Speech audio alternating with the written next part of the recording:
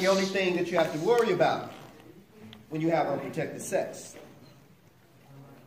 Miss Marvinetta knows my story and my journey, how I lost my 15 year old son to cancer, osteosarcoma, September the 3rd, 2008. But when I lost my son, I was on tour in Jamaica coming back, and I was thinking about something that took place in my life at Simeon High School when I was 15 years old. I had gotten my 14 year old girlfriend pregnant at the time. When I was coming back on the plane, I had never dealt with this situation. See, people think that abortion only affects the females. But this was something psychological that I had suppressed in my mind, and it came back to my mind on the plane coming back to Chicago from Jamaica after I lost my son. And I thought about it what if I would have had that child now that I've lost one? So the name of this piece is called Mission Abort. I remember a time that I wish that I could forget. Yet it's etched in my brain like stone. Sometimes I sit alone thinking, I wonder. How many abortions have the women I slept with in my past had? Because of me. See, y'all, I just feel like tonight is the night for, for me to tell my story because for years I kept it hidden deep down inside of me. It's time for me to let it go now. I want to be free.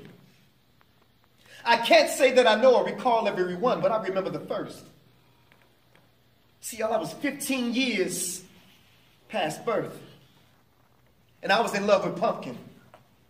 A 14 year old freshman from Simeon High School thought that I knew it all, thought that I was cool, but the Bible says, professing themselves wise, they became fools.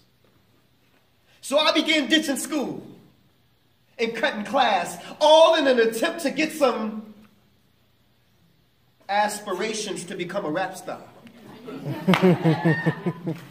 See, I was well known to be cold with them bars, but my heart had me locked up, stuck in a standstill. I couldn't see past this girl. She was like the center of my world, and everything revolved around her. I had never felt like this before. I was even cool with the parents, who for me kept an open door, but that was all before she was late. And now I ain't talking about for lunch. I'm talking about no visitors this month. And now we both scared, wondering what would her parents think. See, they were the ones who really cared about us and our future. We literally ripped their dreams apart, and this couldn't be mended with no suture, but we got to tell somebody. We didn't know what to do. We were only babies ourselves doing what grown folks do without a clue of the consequence until we had to deal with the consequence of sex with no protection. And, and it's too late for me to pull myself out of this one because now she's expected. And I'm expecting her dad to kill me on sight. See, my father always taught me to do what's right, but now that I'm on center stage, somehow I've gotten stage fright. So we talked and she asked, What was I thinking? And without even blinking, I said, Baby, I'm not ready to be a father. And see, for her, this only made things harder, so she told her mom, who forced her to get an abortion. And along with my coercion, I could only imagine the pressure at 14 that she must have been under. Too young to know the procedure, I didn't even care. Only wish that she would have made me be there. Maybe I needed it. See, things don't register the same unless you see it. And then you can believe it.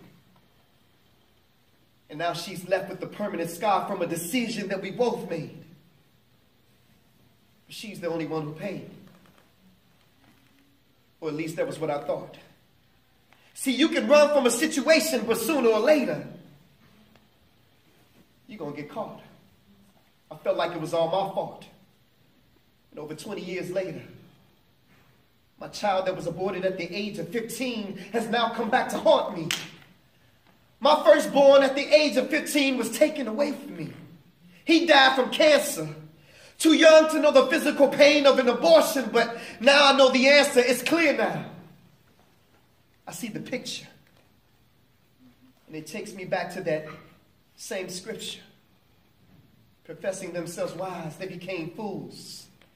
So to all the teens in the house tonight, listen to Blaq Ice, stay in school, learn from my mistakes.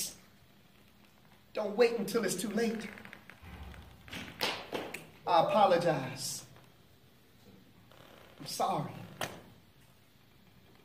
I wish that I could go back, change, and rearrange things. If you only know the choices, that decisions, the consequence that it brings to y'all at the time, I was only 15. And I remember time that I wish that I could forget. Yet it's etched in my brain like stone. Sometimes I sit alone thinking I wonder how many abortions have the women I slept with in my past had because of me. I just felt like tonight here with y'all was the night for me to tell my story. Because for years I kept it hidden deep down inside of me. It's time for me to let it go now. I want to be free. All right, ladies and gentlemen, this is six brothers and a sister down here, and they're going to talk to you guys about what they thought about Blaq Ice's performance and presentation tonight. You can state your name and then tell everybody what you thought. My name is Derek, and I like the performance. Like it taught me a lot.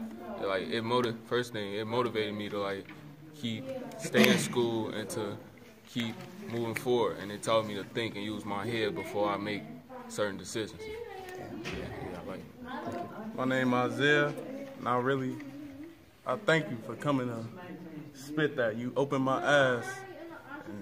That, I'm not gonna be, I'm a, t- I don't even know what to say, but I'm a, I'm a pay attention in school and stuff, and not take my life for granted, like, mm-hmm. not watch what I'm doing with females and stuff. Yeah. That's what I'm. Okay. Uh, my name is Gigi, Gabe, I go by Gigi, but uh, this performance taught me a lot, you know what I'm saying? I actually, like, it opened my eyes, it just made me feel like, like, like, it was like, dang, like, I'm really, like, losing a lot of stuff right now. Like, I'm losing, you know, girlfriends, I'm losing, you know, uh, homies and stuff, you know, it kind of made me open my eyes and stuff, you know what I'm saying? So, you know, I appreciate and everything, it just told me, you know, I gotta watch out for who I mess with females and stuff, you know, just wrap it up, not be stupid. But yeah, it just opened my eyes up to a lot of stuff and just realized that I hurt a lot of people too. Yeah. Yeah. That's the main thing. All right, um, my name Nero. You know, um, this this um, what you did, it taught me a lot.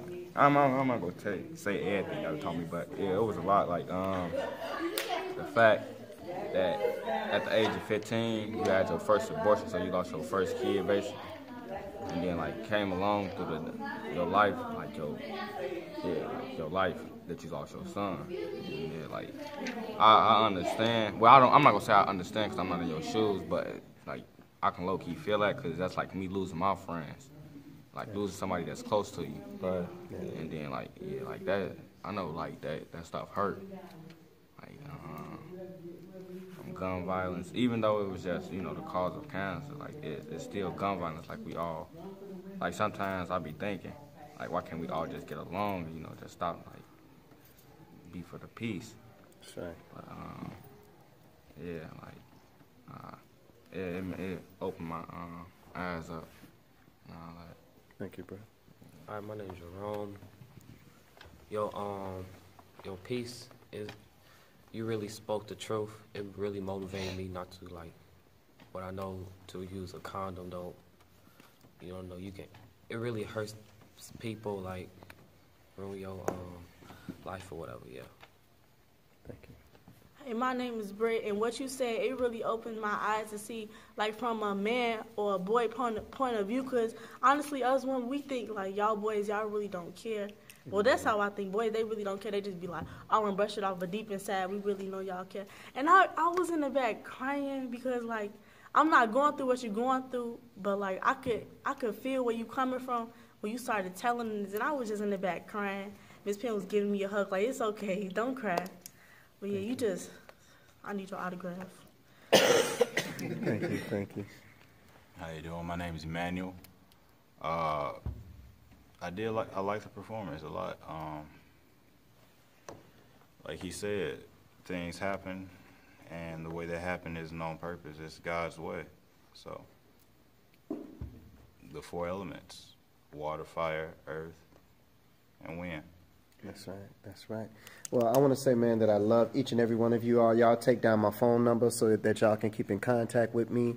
And um, let this be the beginning of a bond that we have with one another. So if you guys need advice and you can't talk to your parents or you don't feel comfortable talking to your friends or whatever, then y'all can call me. You know, I'm up every morning, 6 o'clock in the morning. So if it's something that you need, text me, hey, Ice, can I holler at you for a minute? So and so, so and so. All right? All right.